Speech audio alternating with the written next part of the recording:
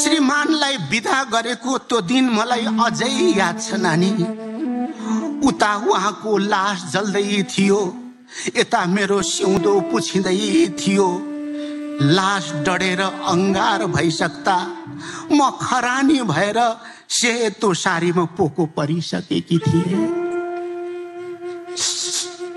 सेतो सारीले चाडबाडमा सबभन्दा बढी दुःख दिन्थ्यो नानी। दौतरीहरू राताम्य भएर नाचगान गर्दै हुन्थे।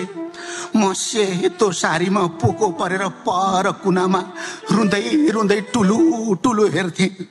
कल्पना गर्नु त श्रीमानले त साथ छोडे छोडे समाजले पनि संस्कारका नाममा सेतो सारीमा बन्धक बनाइदिँदा म गाई गोठमा बादशाहसँग घन्टौँ रोएकी छु मान्छेको विश्वास नलागेर। मान्छेहरू भाग्यको कुरा गर्छन् नानी तर भाग्यको कुरा गर्छन् मेरो नजरमा संसारको सबभन्दा भाग्य माने मान्छे को थाहा छ जसको सिउँदो पुछिएको छैन त्यही नै सबभन्दा ठुलो भाग्यमानी हो जसको पोते चुडाइएको छैन श्रीमान हुँदा पनि नहुँदा पनि रातो सारीमा सजिन्छन् भगवानको विधानमा कहीँ छैन लेख्या विधुवालाई रातो लाउन पाउँदिनस् भनेर।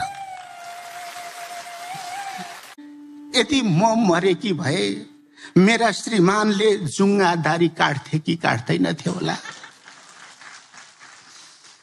सेतो दौरा सुरुवाल लाएर एक वर्ष बरखी बार्थे कि बार्दैनथे होला? श्रीमान मरेपछि श्रीमतीको खाने लाउने बाँच्ने सबै तरिका बदलिन्छ। तर श्रीमती मर्दा पुरुष जस्ताको तस्तै हुन्छ। नानी नियम कानुन र चलन सबैका लागि बराबरी होइन र? यहाँ फौजीका नानी छोरीहरू पनि देख्दैछु। कति खुसी लागेछ। विधुवा हुनु त्यसमाथि गरिब विधुवा हुनु। यो पनि कुनै युद्ध लडे भन्दा सानो युद्ध होइन नानी। शङ्का आक्षेप र आरोपको भारी गरिब टुहुरा र विधुवामाथि मात्र किन लगाइन्छ?